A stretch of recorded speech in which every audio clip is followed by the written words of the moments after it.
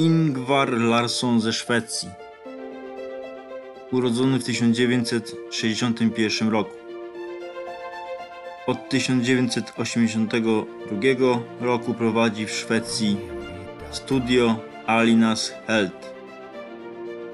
Wielokrotny mistrz Szwecji.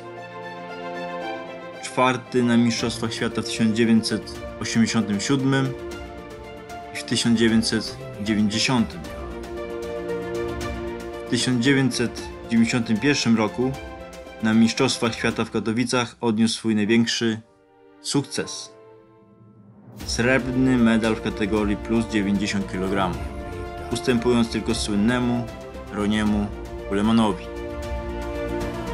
W 1994 i 1997 roku wygrywał Grand Prix Szwecji.